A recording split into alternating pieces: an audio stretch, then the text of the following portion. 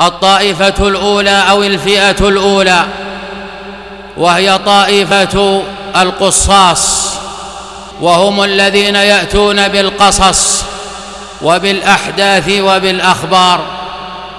وما تكلمت في هذا الموضوع إلا لأني رأيت الكثير بل لا يخلو يوم من الأيام إلا وهؤلاء يأتون بأشياء تخالف العقيدة ولربما لما ملحوا من قبل كثير من الناس إذا بهؤلاء ظنوا أنهم علماء ودخلوا في العقيدة فأتوا بالطوام ودخلوا في التفسير ودخلوا في الأحكام الفقهية إلى ما إلى ذلك.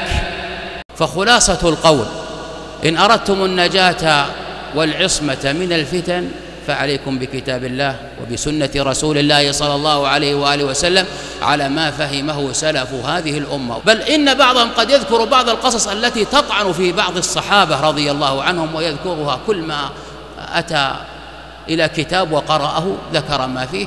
فهذه الخطبة إبراء للذمة من باب تبين ما قاله السلف لأن الأمر ليس كالأمر السابق. لأن هذه المقاطع وهذه القنوات الآن تستقطب من هو مشهور ومعروف لدى الناس وهذا أسرع طريق لمعرفة الناس بالرجل.